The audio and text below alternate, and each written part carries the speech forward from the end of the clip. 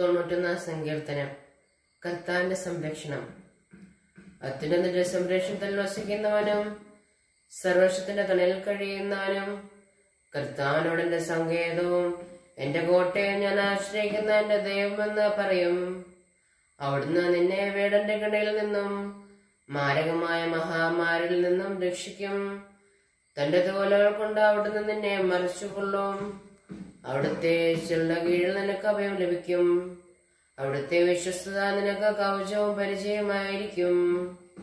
രാത്രിയിലെ ഭീകരതയും പകൽ പറക്കുന്ന സ്ഥലത്തെയും നീ ഭയപ്പെടേണ്ട. ഇരുട്ടിൽ സഞ്ചരിക്കുന്ന മഹാമാരിയെയും നട്ടുച്ചയ്ക്ക് വരുന്ന വിനാശത്തെയും നീ പേടിക്കേണ്ട. നിന്റെ പാർശ്വങ്ങളിൽ ആയിരങ്ങൾ മരിച്ചു വീണേക്കാം.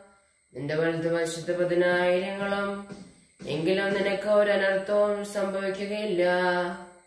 ദുഷ്ടരുടെ പ്രതിഫലം നിന്റെ കണ്ണുകൾ കൊണ്ട് തന്നെ നീ കാണും.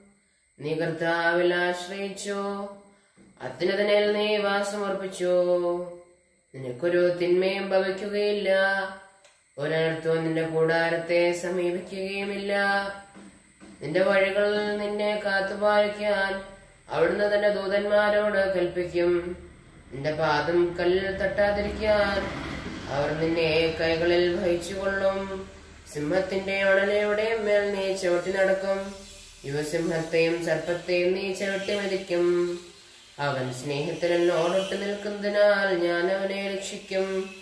അവൻ എന്റെ നാമം അറിയുന്നത് കൊണ്ട് ഞാൻ അവനെ സംരക്ഷിക്കും. അവൻ എന്നെ വിളിച്ചപേക്ഷിക്കുമ്പോൾ ഞാൻ ഉത്തരമരളും. അവന്റെ കഷ്ടതയിൽ ഞാൻ അവനോട് ചേർന്ന് നിൽക്കും. ഞാൻ അവനെ മോചിപ്പിക്കുകയും മഹത്വപ്പെടുത്തുകയും ചെയ്യും.